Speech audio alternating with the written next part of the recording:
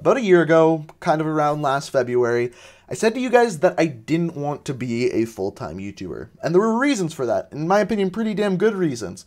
But here I am, sitting here about a year later, and what am I but a full time YouTuber? And let me tell you, I wouldn't trade that for the world. I took something that I did for fun as a hobby, something I loved doing, and turned it into my full time job.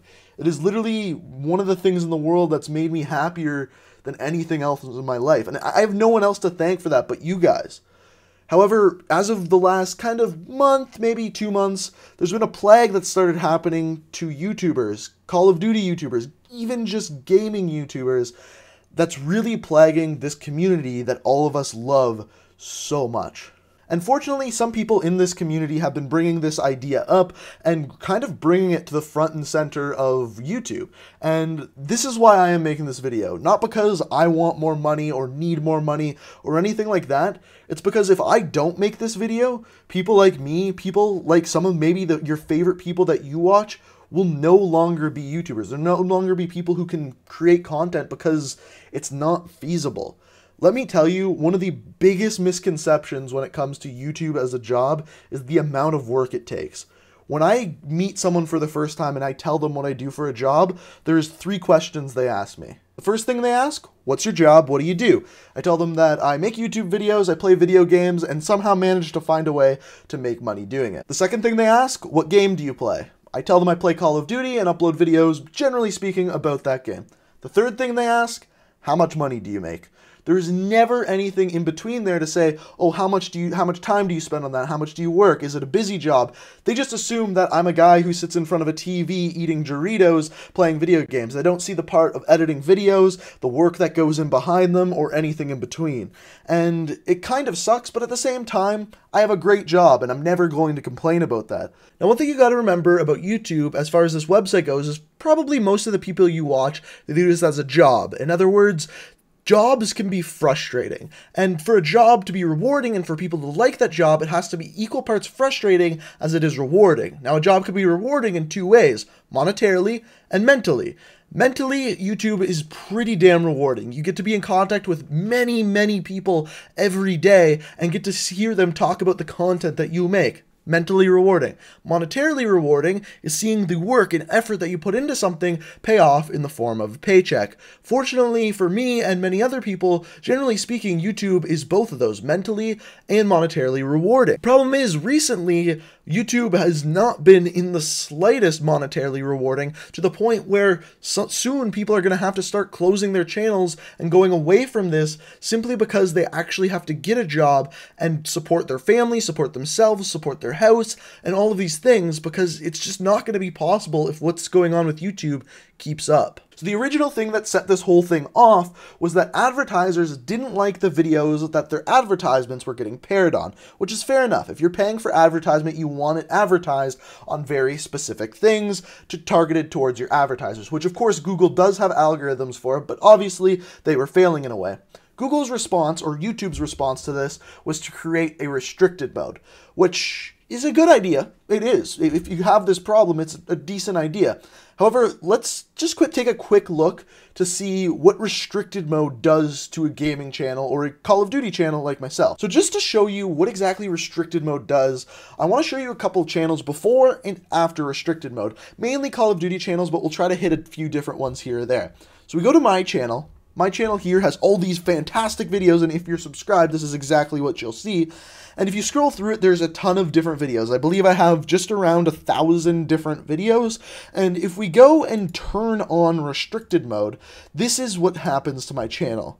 A channel with just under 300,000 subscribers basically goes non-existent. Literally, none of my videos are there, except for four. There's four videos on my channel.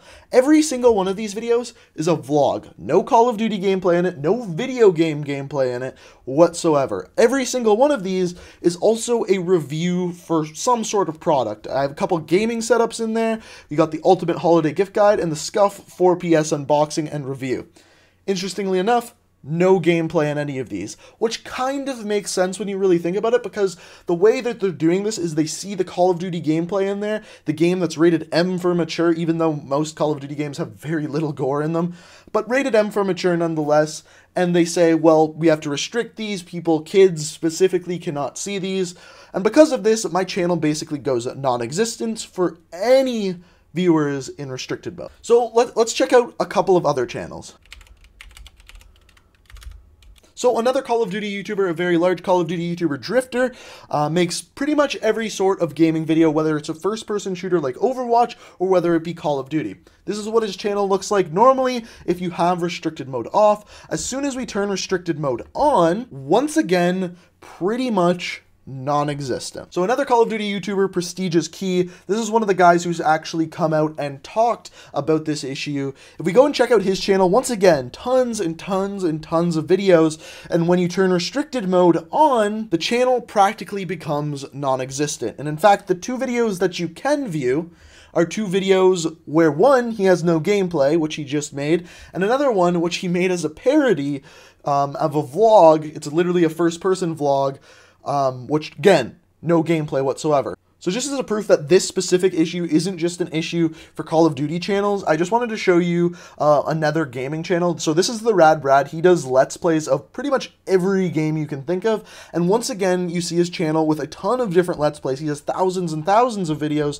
If we go and turn on restricted mode for him, not only is does it go from having thousands of videos, his goes to having zero videos on his channel because pretty much every one of his videos has some form of gameplay in it. So to understand the next part of this, you have to understand basically how YouTubers get paid. So YouTubers get paid off of the ads that go on their videos.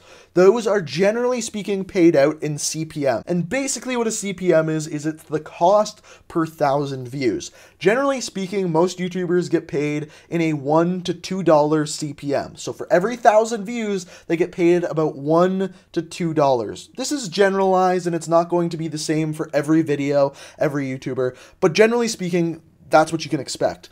I've seen my specific videos anywhere from one to six and sometimes upwards of eight on very specific videos at very specific times for very specific countries. It's kind of all over the place, but if you want a general rule of thumb, one to two dollars per CPM. So another thing with CPMs is they change based on time of year. For example, in December, when advertisers really want to get their products out there for Christmas, ads are going to be a lot higher. So people in December on YouTube, generally speaking, get paid a lot more. Also, for some reason, around May, June, July, CPMs are also higher during that time. So at this time last year, my CPMs ranged from about two to three dollars per video, generally speaking, around there. This year, pretty much every single one of my videos has been at one dollar one one dollar CPM, which isn't horrible. Like I'm not complaining about that. So the thing you got to remember here is, as a YouTuber, there's a couple of times of year where you're really going to flourish, and this time of year right now is one of those times. Especially because for a Call of Duty YouTuber, the times you're going to do well is whenever something new is released. So for us in this case scenario, it's Call of Duty World War II. Generally, that's just a time of year that's pretty good when the new Call of Duty is announced. And as of this year, it's gotten much much worse, not just because of the time of year and the whole ad revenue discrepancy that's going on, but also because of the title of the next Call of Duty game. So a great example of this is called, for me, Call of Duty World War II gameplay trailer, Nazi zombies, and multiplayer. This video I put out the day of the Call of Duty World War II reveal, and this video, as of this moment right now, has about 60,000 views.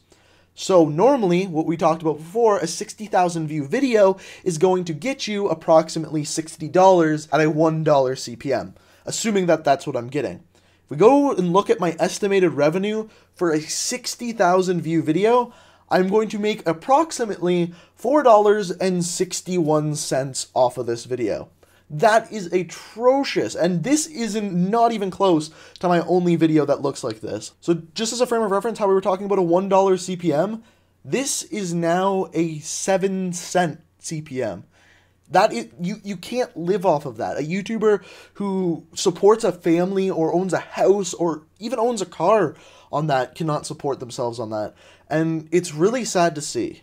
And PrestigeIsKey recently tweeted something to really show off really what's going on behind the scenes here. So basically, he showed a Call of Duty World War II video that has over 100,000 views and he approximately made $10 off of it, versus another video that's a two minute first person vlog of him going to buy milk. He was trying to make the most advertiser friendly video possible, which has 33,000 views, and guess what? He made $40 off of it. So literally four times more off of a third of the views. Riddle me that. And there's been other YouTubers complaining about this as well, many, many more. And I'm glad that they are. I'm really glad that they are. And this just goes to show how you really have to be careful with how you make your money. You never know when what the way you're making your money is just going to end completely, especially when it's not dependent on you, right? Like the way I make my money is dependent on a whole other website. And specifically, this is affecting Call of Duty YouTubers because of the whole World War II Call of Duty game. For some reason, when we put Nazi zombies in the title, even if you say it in the video, if you talk about a specific World War II weapon, a location of a World War II battle, if you say anything like that in a video, it's going to get flagged, and all of a sudden that CPM is going to drop down to 7 cents per thousand views. And of course that that's a problem. Of course, we're not going to be making videos showing you what exactly happened during World War II in those gas chambers. We're making a video about a video game, something people love to see. And hopefully, hopefully a video like this can get across to the people at YouTube, to you guys, to show you how this is causing problems for your favorite YouTubers. I hope I explained it well. I'm I'm hoping I did. But how is this going to affect me? Hopefully it doesn't. I mean, if it keeps going on like this for a very long time, then yeah, I'm to have to go get another job. But like I said, I've saved my money. I'm not too worried. I think after a short while, this is going to kind of go away. YouTube's going to figure it all out, get it under control. Um, but even if it doesn't, I'm going to stick to this. This is something, like I said, I'm not doing for a full time job. I'm doing it because I enjoy it. Uh, but if you want to check out all my stuff, this is my main channel, obviously. This is where I make Call of Duty content. Um, I have a second channel. I'll link it down in the It's always down in the description. But I was doing Let's Plays over there. I might switch over to vlogs. I'm not 100% sure. Um, you can let me know what you think either down in the comments or over there. Also, I'm streaming like every single night over on Twitch. Uh, it's something I did last summer. I want to do it this summer too. My Twitch link is also down in the description. And like I said, I'm always here. I'm always on this channel, and I'm really curious what you guys have to say about this. Are you pissed off about it? Like, I'm sure you don't want your creators that you like watching going away, so let me know what you think about this. Is this something you're concerned about? Are you a fellow creator who's also worried about this? Let me know what you think down in the comments, and if you enjoyed the video, it's always appreciated if you hit that like button. If you're new to the channel, feel free to hit that subscribe button. But thank you guys so much for watching. I hope you enjoyed, and until next time, Peace out. And for those of you wondering why it looked like I was shedding the whole time on my shirt, it's because of this adorable little kitty. we are, we are reaching for the stars, but we're making this to us.